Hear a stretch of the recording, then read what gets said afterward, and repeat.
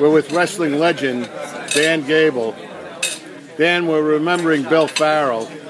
Uh, he was your Olympic coach, uh, one of the most influential American wrestlers of the last century, uh, a great human being.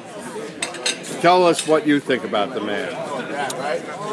Well, for me, he hit my life at the exact perfect timing. Uh, the reason why I say that is because I had Olympic competition yet. I had all my high school days were done and my my college days were done. Even though he was actually helping me out, and I really didn't know it because I was ordering equipment, wrestling equipment, shoes, singlets, all that type of things from his company, and I didn't really understand who he was at that time. But once I got to the Olympic level, it's a lot of it's about politics, and then a lot of it's about business with you as far as going on in your life in a profession. Mine was going to be wrestling coaching, of course, but I hit a man at my time in my life for a couple years there where politically and business wise, besides on the mat, he really taught me a lot of things.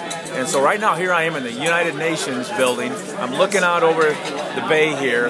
I'm looking out over and I see a sign that says Long Island. This is appropriate now that I'm talking about Bill Farrell because uh, I'm staying at the AC. Uh, I think I was there in 1971, 1972. I trained with uh, some of the AC people there, a guy like Mark Miller, uh, those types of guys. But but Bill Farrell was the guy that really helped put together a team of individuals that really became a team of winners uh, beyond just what they've done in their career. And they won a lot at the Munich Games for, and it had a lot to do with him. I mean, I, I can say one thing that after the first practice that that they ran, it was unlike what we had ever kind of did before at Iowa State. And there was four of us that were on from Iowa State University and we kind of walked up to him, and most coaches would have like just been tough, hard-nosed guys and wouldn't have take any of our recommendations. But we talked to him a little bit,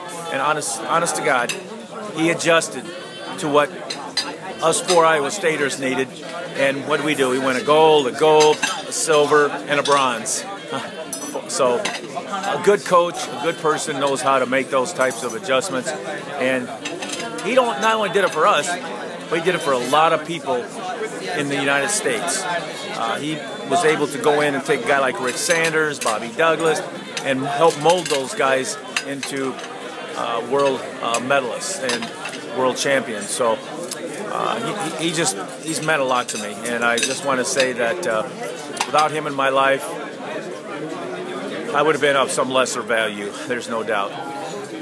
Well, thanks an awful lot, Dan. No problem.